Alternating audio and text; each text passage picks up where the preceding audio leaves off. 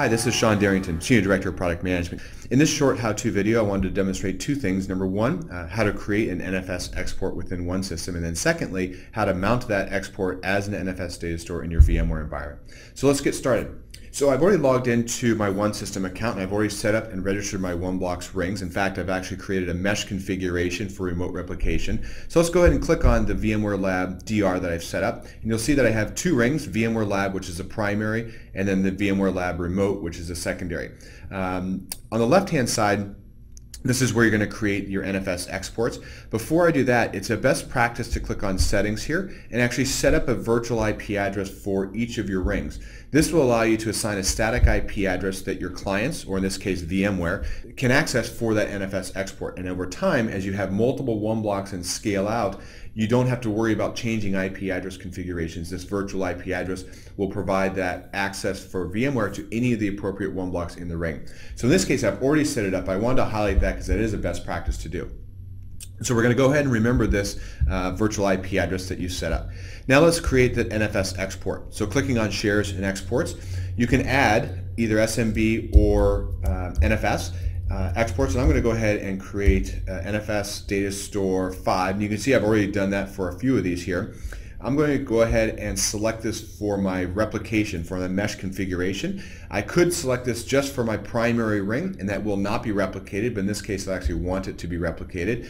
So I select that, I select NFS, uh, I already have the read write and root squashing permissions set correctly. Now I'm going to go ahead and click custom or you could do other things as well but in custom I'm going to actually turn snapshots off. I'm going to manage my snapshots through the vSphere client. I'm going to enable compression as well as variable length deduplication for data reduction. Um, this is something that's beneficial in a VMware environment and now I can click save and this will actually create that share and then make that available to mount um, within my vSphere client.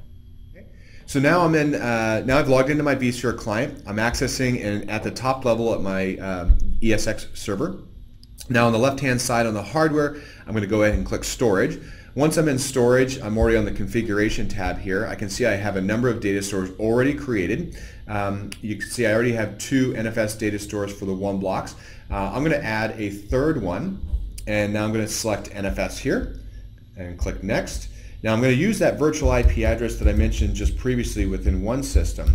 This will provide that equal access for all the data stores to all the OneBlox over time and I don't have to come in and change my settings as my scale out uh, ring uh, expands in capacity and availability and performance. So with one blocks, you do want to use the slash exports slash path name or folder name. So I'm going to do NFS data store 3. You notice that I had a number of them already created. I'm going to just keep the same sequence and start with 3. So now I'm going to go ahead and give this a name, OneBlox data store 3. Now I can click next. Here's a quick summary and then I click finish and I'm done.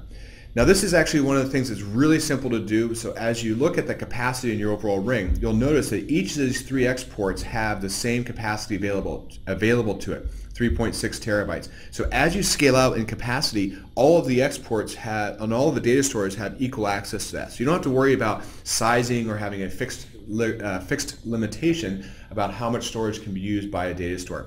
Now from here, you can go into your vSphere client and you can log into the VM, and actually add that data store to it. Um, and that's as easy as it is to create an NFS export and make it available for use within VMware. Thanks for watching.